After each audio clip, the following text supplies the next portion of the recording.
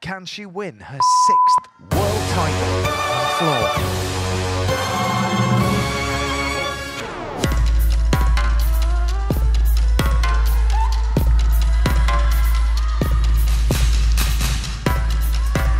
And she can certainly tumble like no one else. Look at the twist in the double straight.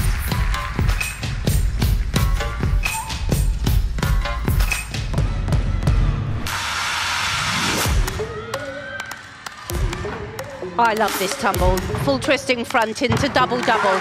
Just like she's doing a tap back. It's amazing.